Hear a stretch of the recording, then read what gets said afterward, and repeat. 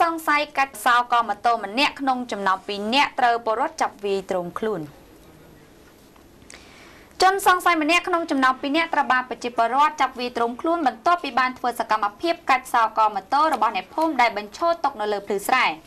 ហេតុការណ៍នេះបានកើតឡើងកាលពីល្ងាចថ្ងៃទី6តុលាម្សិលមិញនៅចំណុចភូមិច័ន្ទទៀបឃុំសំរោងស្រុកត្រាំកក់ លោកអនុសេនីយ៍ឯកទូចលេងនៃបរដ្ឋបាលសំរោងបានឲ្យដឹងថាពេលជនរងគ្រោះຕົកម៉ូតូ Mack Dream C125 ស្រីឆ្នាំ2009ពណ៌ខ្មៅពាក់ស្លាកលេខតកែវ 1C0027 នៅលើភ្លឺស្រែដើម្បីដើរមើលភ្លឺស្រែក៏មានជនសង្ស័យ2នាក់ជិះម៉ូតូ Mack Air Black ចូលមកធ្វើសកម្មភាពកាច់សោកម៉ូតូរួចក៏ជិះទៅបាត់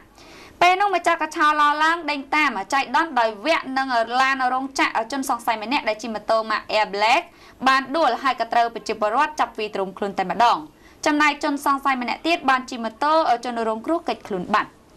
ប៉ុន្តែយ៉ាងណាក៏ដោយលោកថាជនសង្ស័យគឺជាមុខសញ្ញាចាស់ហើយអ្នកដែលត្រូវប្រជាពលរដ្ឋចាប់បានគឺមានឈ្មោះថាថនផាលីភេទប្រុសអាយុ27ឆ្នាំមករបស់មិនពិតប្រាកដស្នាក់នៅក្នុងភូមិនីលឃុំត្រាំកក់ស្រុកត្រាំកក់នៃខេត្តតាកែវរីឯអ្នកកិច្ចខ្លួនបាត់នោះគឺមានឈ្មោះប៉ាន់ថនភេទប្រុសអាយុ29ឆ្នាំមករបស់មិនពិតប្រាកដស្នាក់នៅក្នុងភូមិឃុំជាមួយគ្នា។